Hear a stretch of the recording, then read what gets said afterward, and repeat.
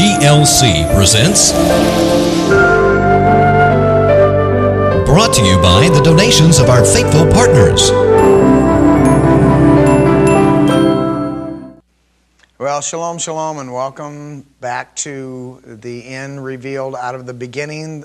Uh, the last time we were together, uh, we were continuing to talk about uh, agrobiolinguistics, and now we're going to, to continue along that same line, but we're continuing to identify these words in your scripture. Once again, the Bible is revealed to us through words, and the second witness of those words is in agriculture and biology, because according to the scriptures, nothing is true unless there is two or three witnesses. And so we were talking about those witnesses of the word that's in our scripture.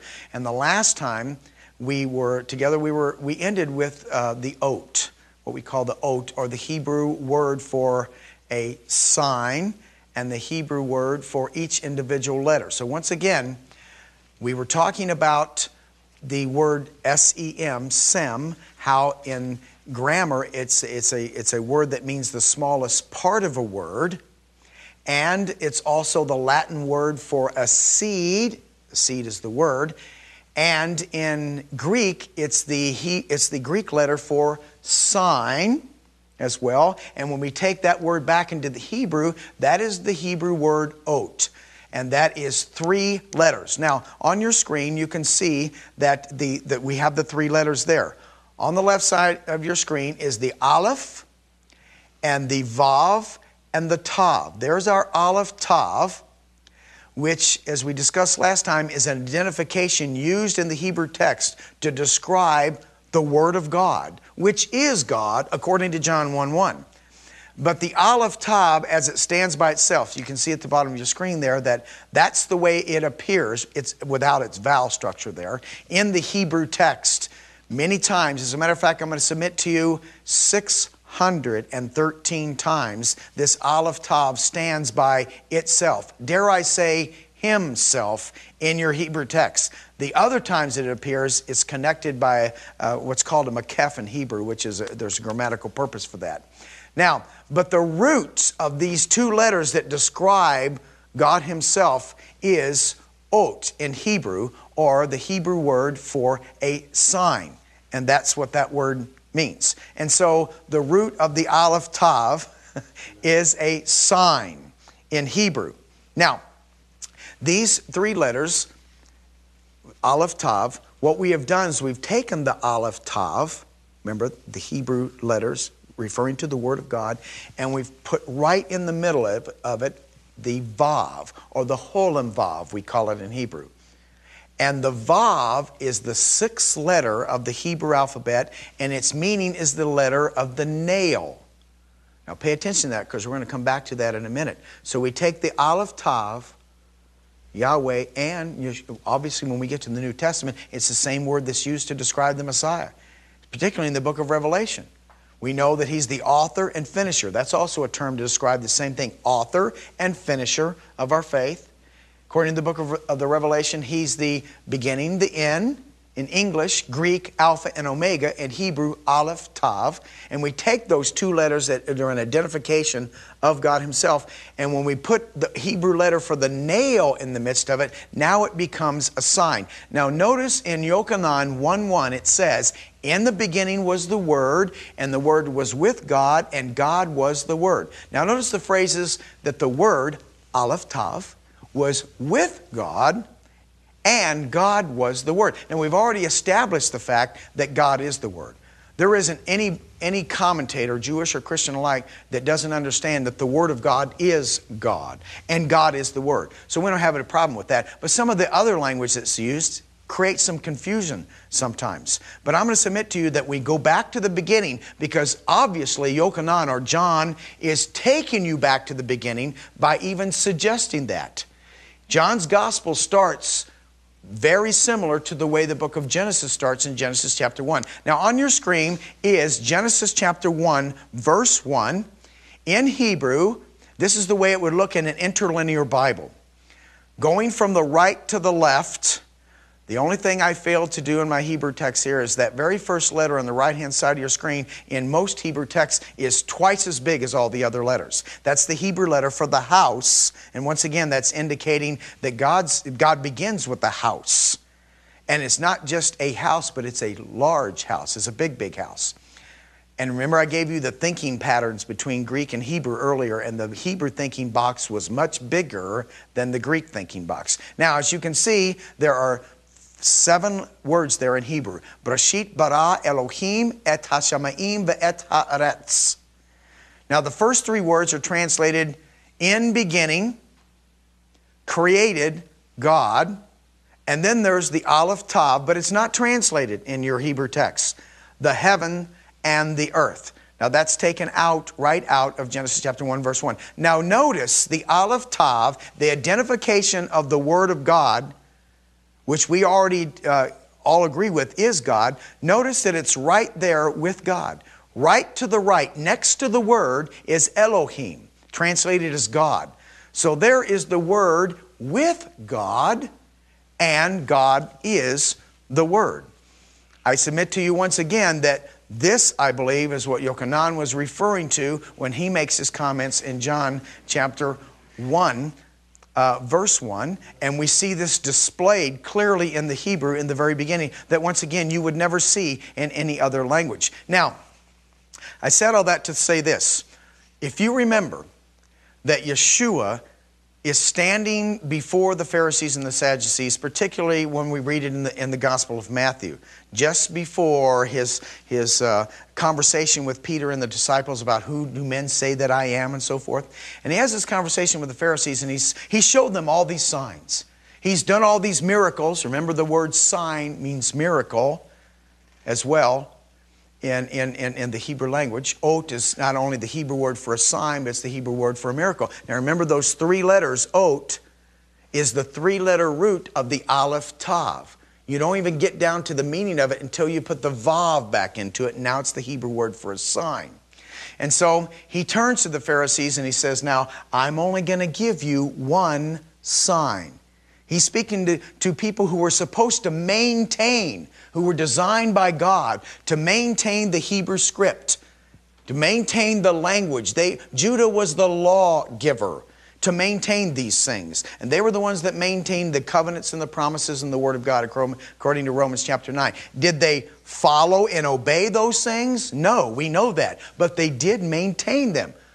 Praise the Father for Judah we should be eternally grateful for Judah. Judah. That's why we love them as well, because they have indeed maintained that whether they followed or not. But the reason why he addresses them is because they were the maintainers of the script, what we just talked about, of the text. And so he says, I'm only going to give you one sign. And what was that sign? The sign was the sign of Jonah in the belly of the whale, and that he will be in the belly of the earth for three days and three nights. So, the sign that Yeshua was given to these people who know what the Hebrew word for sign is, is his crucifixion. Essentially, what he was saying to, that, to them is, I'm only going to give you one sign. I, the Aleph Tav, am going to be nailed to a cross. And so, Yeshua, claiming to be the Aleph Tav, remember the Hebrew letter is a nail right driven right in the middle of the Aleph Tav is the Hebrew letter of the nail. And so they turn around and they see him on that hill and they see something that he claimed to be the Aleph Tav and they drew, drove nails right into Yeshua and nailed him right to the cross. The Aleph Tav nailed right there. And that was to be the sign because when you take the Aleph Tav and drive the Vav in the midst of it, now you have the Hebrew word for a sign. Now, once again, this may all be coincidence, but coincidence is not a kosher word. Now, let's go on. With that in mind, remember the Greek, the Hebrew uh, word for a letter is the individual, it's ot. Remember, it's the individual letters of the Hebrew alphabet are called signs and so forth. And according to Hebrews chapter 11, verse 3, the Word of God that contains these 22 letters created the whole universe. The worlds were framed by the Word of God, Ivrim, or Hebrews chapter 11, verse 3 says. And so it just so happens, and, and on your screen you see a quote from a uh, well known scientist. If you probably have seen him on uh, Nova and PBS specials and so forth, in his book called The Elegant Universe, which became a Nova special, here's what he says. Now, this guy's not necessarily a believer, but he's commenting on what he sees that's called substance and evidence as he looks out into the way the universe is made up. Here's what he says The fundamental particles of the universe that physicists have identified, electrons, neutrinos, quarks, and so on, are the letters of all matter. The letters of all matter. Now, should that, should that surprise you? That this guy and people, scientists like him, that are viewing the evidence and substance that they see, not just in a cell, but out there in the universe as, as well, have come to the conclusion now that what is making up all matter in the universe is the letters of the universe. I submit to you that the God that we worship, who is a smart God, already knew those things in the very beginning and that man is finally figuring some of these things out. Okay, let's move on with our words mean things as we continue to trace these things back to what the words mean from the beginning, how they're embedded in all the agriculture and biological things we see all around us. For instance, in Romans chapter 11, we read about the wild branches grafted into the natural tree. Now, the the word that's used from the Greek and from the Latin to describe that grafted shoot, that, that process, right when the branch meets the tree that it's grafted into, right where it meets there, that is called a scion. S C I O N. S C I O N. Let's go back to the board and let's write that up on the board for just a minute. That is called a scion, grafted shoot. This is what we refer to it as, pronounced scion. Now, that is a Latin term that means a descendant or an offspring, and we use it in our culture to describe a branch grafted into a tree. Now, once again, this shouldn't shock one, any of us that the grafting of a tree is also a, a, a biological term or how uh, a descendant or a child of one person. So Paul's uh, the Holy Spirit, if you will, through Paul, is going to use all these images in these two trees that we see in Romans chapter 11. Remember, the Bible begins with two trees. We have two trees mentioned in Ezekiel chapter 37, and then we go to Romans chapter 11. Once again, we have these two trees a scion, a descendant, or an offspring. Now, it just so happens that this word scion is is comes from the Hebrew word Zion.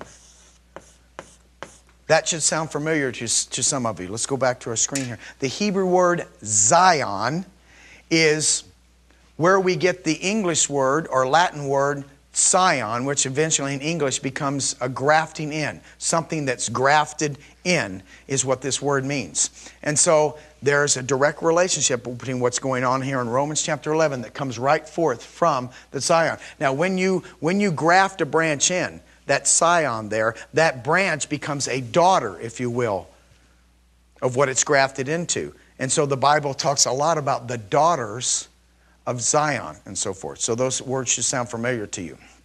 Okay, now moving on. We're also going to talk about the fact that words are described in emotional human terms. So when we talk about words, that's language, we talk use them in emotional terms like passive and active and accusative and we use the words voice and gender and person and moods. Words have moods, see, because people have moods. We also notice that verbs have stems and roots, we are told. Stems and roots. Now, there's a very familiar term that we use in languages and agriculture called a phylum. P H Y L U M. Phylum is a division of plants and a division of language stocks and cognates. So it's a word we use of plants And it's a word we also use in languages when we're talking about language. Once again, this should come as no surprise to you. In the literary world, in other words, those of us who write books and write letters and so forth, in the literary world, we have a letterhead, then we have the body of the letter, and then we have footnotes when we write books and so forth. So we have a head, a body, and we have footnotes. Once again, that should come as no surprise to you. Now, in Hebrew, the word amar, aleph, mem, resh, amar is how we pronounce that, is the Hebrew word for speaking. It means to say or proclaim. It's, it's the tops of trees and so forth. So the Hebrew word for speaking, which is what humans do, is also the Hebrew word for the tops of trees. As a matter of fact, this is one of the verse, first words that you have revealed in your Bible.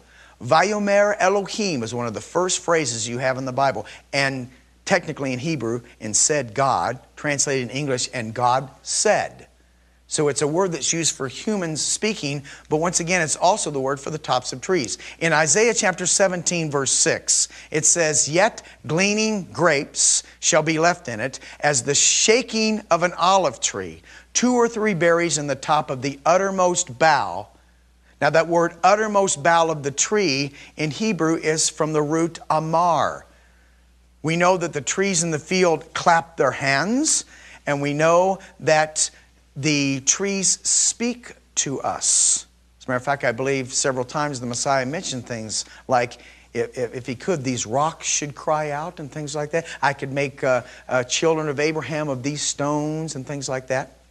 Is, is some kind of the words that, uh, that Yeshua uses. So in Hebrew, the word for speaking, the word for tops of trees. Now, why is that true? Because when a tree, remember in, in Psalm chapter 19, verse 1, we're told that the creation and the heavens God's creation declares His glory throughout all the earth. And there is no speech nor language where their voice, whose voice? The heavens, the creation, all th- things that God has created, that's who He's talking about. There is no place where their voice is not heard. So when the wind, in Hebrew, wind is ruach, translated as spirit in, in the English, when the wind whips through the trees, remember we quoted earlier that as the days of a tree, so are the days of my people. As it whips through the trees, the sound that you hear the trees speaking comes off the tops of the trees. So the Hebrew uses it as if the tree is speaking themselves. Okay, moving on. It's also true that if you've ever tried to learn Hebrew, if you've ever had a Hebrew teacher and they're teaching the language, one of the first things they do is teach you how to articulate the individual letters, those 22 letters, whether they're in their uh, normal form or they're in their sofit form, which is the fi- five final forms, they're still pronounced the same way. And so many Hebrew teachers will teach you how to articulate the individual letters by grouping them into uh, groups of letters that sound alike. And we have words for that. We have uh, letters that are called dentals. We have letters that are called palatals. We have letters that are called gutturals and letters that are called labials and sibilants. Now, the reason we do that is because one of the things that's unique about the Hebrew language is not only do those letters sound alike, have the same kind of sounds, but in many cases, uh, you can substitute those sound alike letters inside and out of a Hebrew word, and the Hebrew word still maintains its same basic definition. That's something that's in the deep end of the pool, we probably don't have time to go into right now. But Hebrew is unique, and I cannot overstress that. And so, labials, the, the Hebrew labials, are letters that you say with your lips. See, grammar, bodily body parts, lips. Bet, Vav, Pei. You say them by popping the, the, the letters off your lips. Sibilants are Hebrew letters, Tzadi, Samek, Shen, Sen, so on and so forth, that you say by rushing air through your teeth, so you call them sibilants. Dentals, Dalet, Tav, Tet, are letters that you say by putting your tongue on the back of your tooth. That's what we call them dentals, and so on and so forth. The reason I'm bringing that up is because that is the, uh, there's a connection, once again, between even the way we say the letters are related to our uh, uh, mouth. What we, what we do with our mouth is, is what this all involves. Now, in Hebrew, the letter or the word for the blossoming of a flower is parak. parak. Pei, resh, and chet. Parak. In Hebrew, agriculturally, since all words trace back to agricultural pictures, it means the blossoming of a flower. But it's also the Hebrew word for, um, also the Hebrew word for people who flourish. In Psalm chapter 72, verse 7, it says, In his days shall the righteous flourish. That word is parak in Hebrew, and the abundance of peace so long as the moon endureth. So the word flourish there in Hebrew is the same word as a flower or the blossoming of a flower. And so that's used interchangeably throughout Scripture as well. Now, I want to stop and spend a few minutes. As a matter of fact, it may behoove us to go to our board now and show you this, the, this word bar in Hebrew. You'll notice that in Hebrew, many words that begin with the bet and the resh have very similar meanings. Okay, and that's why they begin with those two words. Now, remember I told you that the, the labials in Hebrew, which is the bet and the pay and the, and the um, vav, all are words that are said off the end of your lips, so that's why we call them labials. The word bar in Hebrew, B A R, means of, of, of, of uh, it means it's the word for wheat in Hebrew. It's the word for corn in Hebrew. It's also the word pure in Hebrew as well. The word pure. I submit to you that the English word pure comes from the Hebrew word bar. The bet by, by the time it got to English, became the P sound. That that's very normal. That's something that all linguists understand, is that the nature of languages is that letters that sound alike somehow end up just slightly getting changed by the time they go into other languages. Let me give you an example of how that's used in something that some of you might see today if you've ever been to Israel. 2,000 years ago, when you went to Caesarea Philippi, there was a, there was a, cave like uh, thing there in a big wall, and coming out of that cave and rushing out of that place was a big fountain or spring, a water gushing out of this spring. And in, in, in the first century, it was called Panias. Panias. But now it's called Banyas. Some of you have probably been to Banyas. It's, it's, it's, the spring is no longer gushing through there. That is a very uh, clear picture of what's, of what's going on in the world right now. The spring isn't going through there, but at the time it was called Panias in the first century It's called Banyas. Now, why is it called Banyas now? Because the Arabs took it over five or six centuries after the, your New Testament was written, and they didn't they don't have a P sound. Arabic has no P sound. So they used the B sound and they called it Banyas, if you will. Now, Panyas is from the, from the word pan, which is where we get the pan god from. Panias was a picture of the various gods um, uh, throughout the world. Pan, because pan is, is, is a word that describes all gods. Pan means all. But then, by the time the Arabs took it over, it got changed to Banyas, which is the restroom in Spanish. I'm just kidding. It's, it sounds like that, but it's not even close. Anyway, Banyas, Banyas is what it's called now, but Panyas is what it was called uh, in the very beginning. And so the B changed to a P. That happens a lot in languages. It's just the nature of linguistics. So I submit to you that pure comes from the word for bar and so forth. And so we see that uh, in our languages. For example, this word bar in Hebrew is part of our English word barley. And because when it goes from one language to the next, it, many times it changes into a P. This is also, this idea of pureness related also to fruit, happens to be the basis of many other words like Ephraim, for example, or Ephraim. Ephraim. The heart of Ephraim is the P and the R, and it has something to do with fruit. Remember the wheat and the tares, Ephraim, the double uh, production of fruit, the pure, if you will, is where that, came, uh, where that comes from. As a matter of fact, the English word fruit okay, comes from the Hebrew word, roots for P R R B R. And that's, see, we just softened it to that kind of F sound as it becomes the word for fruit as well. As a matter of fact, give you another example barn.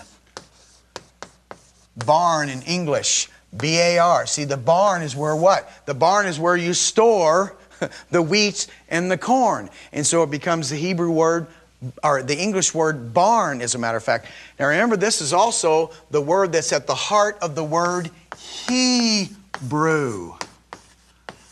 Hebrew. So the heart of the word Hebrew in by the time it gets in the English also becomes pure. And so that's one of the reasons why in Zephaniah God says in the latter days he's going to restore the pure language which comes from the heart of the word Hebrew, because the B's and the R's and the P's and the R's have similar meanings and they're sound alikes. Remember, they're sound alikes. They, they're both labials in Hebrew.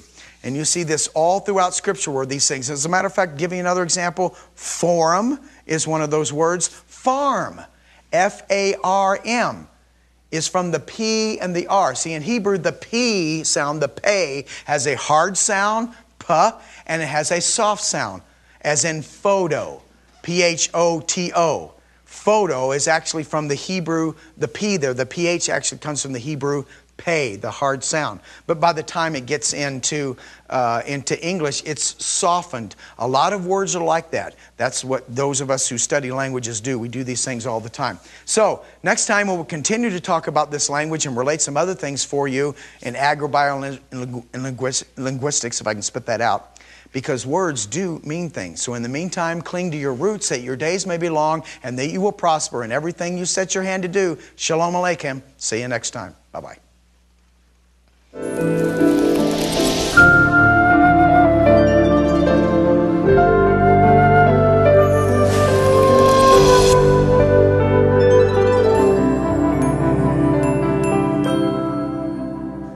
This is Brad Scott with the Wild Branch Ministry, and I hope this series of programs you've been able to see that there's wonderful treasures in your biblical text to be found to this beautiful language that it was written in from Genesis to Revelation.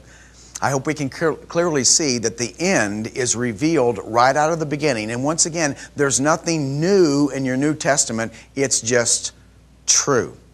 And I hope we continue to learn these beautiful treasures as we go through these programs. If you want to contact us, there's a couple of ways to do it. You can write us at the Wild Branch Ministry or Brad Scott at P.O. Box 97, Vernal, Utah 84078. Or you can email us at brad at wildbranch.org. Our website is www.wildbranch.org. It's a really simple website. In the meantime, cling to your roots that your days may be long and that you will prosper in everything you set your hand to do. Shalom Aleichem. This program was produced by and for God's Learning Channel. If you enjoy this program, we need your support to keep this program on GLC. Please make your checks out to God's Learning Channel, P.O. Box 61000, Midland, Texas 79711 1000. Please be sure to designate where your contribution is intended. It is very important to let GLC know which programs you enjoy and support.